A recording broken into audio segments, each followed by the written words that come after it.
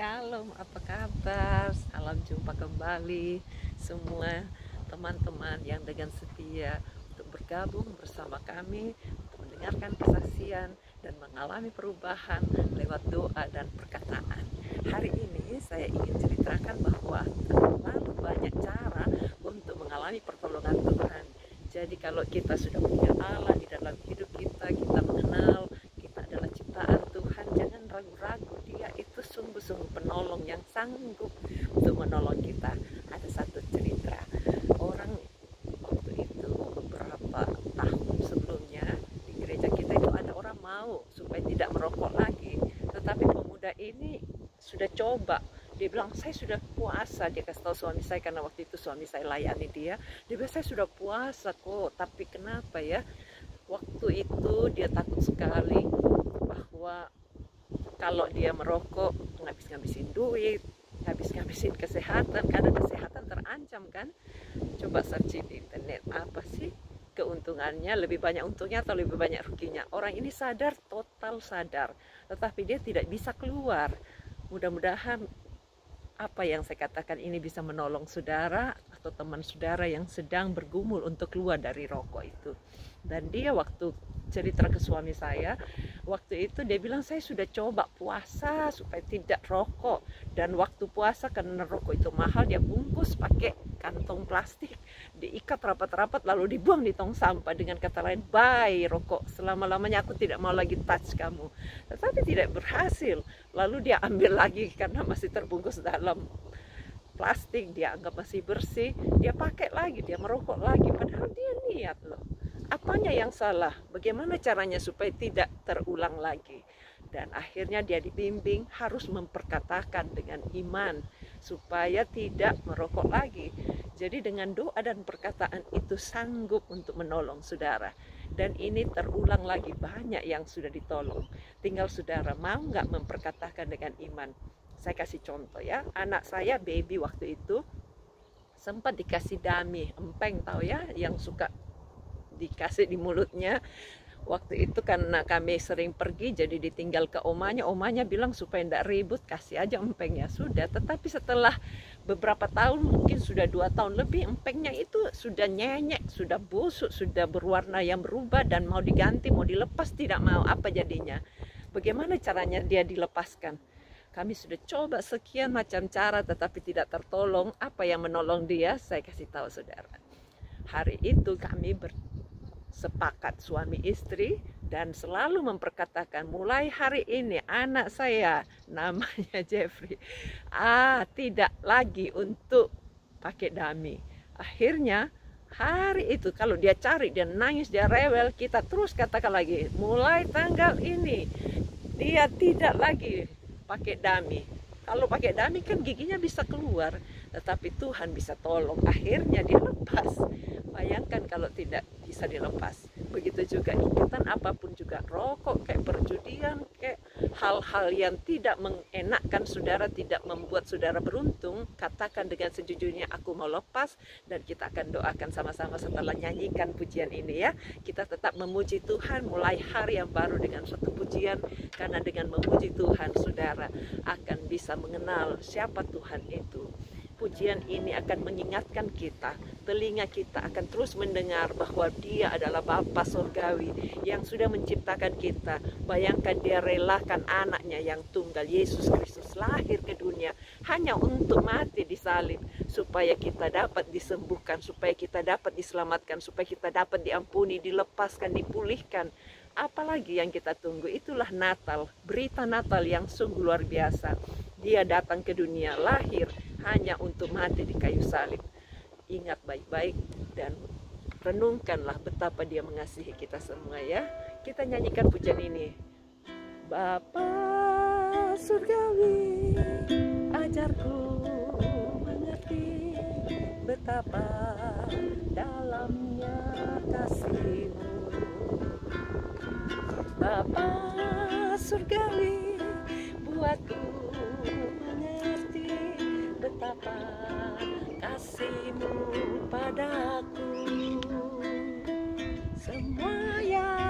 terjadi di dalam hidupku. Ajarku menyadari kau selalu sertaku. Beri hatiku selalu bersyukur padamu Karena rencanamu indah bagiku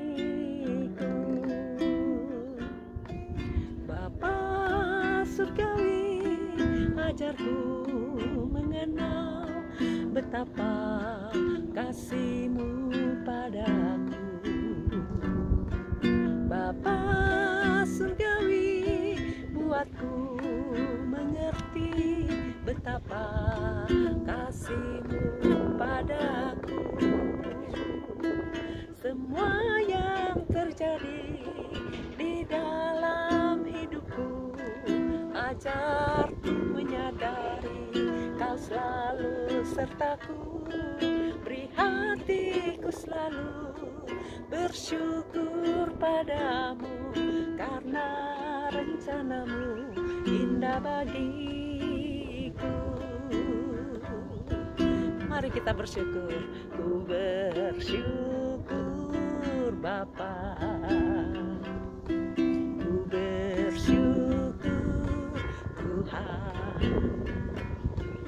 sebab kasih setiamu di dalam hidupku. Ku bersyukur ku bersyukur Bapa ku bersyukur Tuhan buat kasih setiamu di dalam hidupku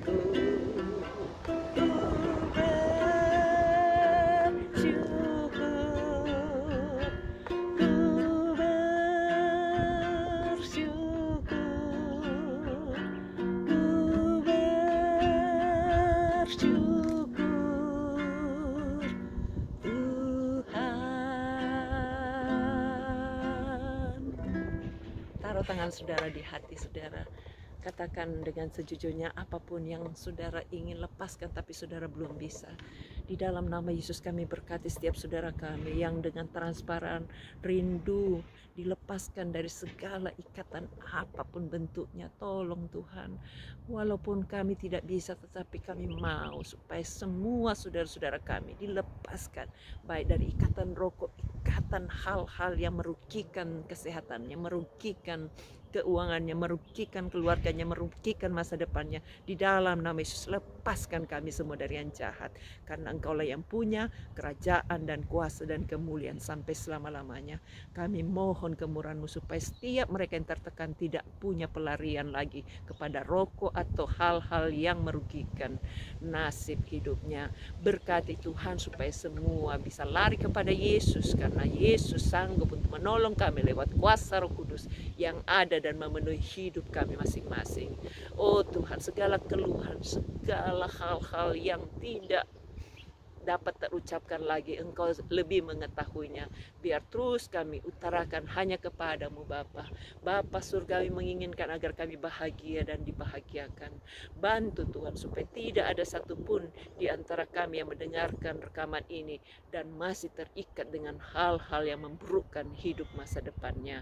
Terpujilah namamu segarkan jiwa roh kami bantu kami untuk lebih mengenal Tuhan lebih percaya dan lebih memperkatakan hal-hal yang terbaik baik atas hidup setiap kami. Baik yang sedang sakit, taruh tangan saudara tempat yang sakit. Kami usir semua kuasa penyakit, baik yang ganggu tulang belakang, yang ganggu jantung, yang membuat diabetes, kolesterol darah tinggi, biar jadi normal semua. Dalam nama Yesus, yang terikat karena stroke, karena cancer, karena sakit, autis ataupun yang lain-lainnya yang membuat orang stres, depresi kami hancurkan semua sakit itu. Pergi tinggalkan oleh bilur-bilur Yesus. Setiap kami yang sudah sakit tidak sakit-sakitan lagi karena oleh bilur Yesus kami sudah disembuhkan. Berkati yang sakit kelangan tangan atau otot-ototnya termasuk yang di leher, di kaki maupun yang di jari-jari jama dan beri sembuh. Tuhan sudah tolong yang lain. Tolong Tuhan supaya setiap kami semua memperkatakan kesembuhan atas setiap pribadi lepas pribadi. Terpujilah namamu, berkati usaha pekerjaannya, berkati studi anak-anaknya, berkati masa depannya, perjodohannya, rumah tangganya, sehingga semua damai, aman, dan makmur, sentosa, untuk kemuliaan Tuhan. Berkati Tuhan supaya apa saja yang kami pikirkan, yang kami perbuat bisa muliakan Tuhan lebih lagi dan bawa kami untuk melayani satu sama lain dengan kasih Kristus. Bantu kami untuk terus bisa menjadi berkat bagi banyak orang. Berkati pemimpin-pemimpin kami, pejabat-pejabat tinggi negara, berkati semua hamba-hamba Tuhan.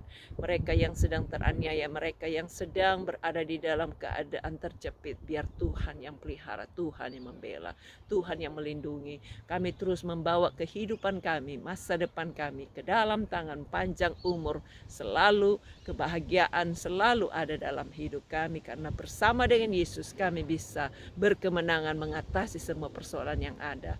Berkatmu turun untuk setiap kami di dalam nama Yesus. Amin. Tuhan memberkati. Sampai jumpa. Tuhan memberkati.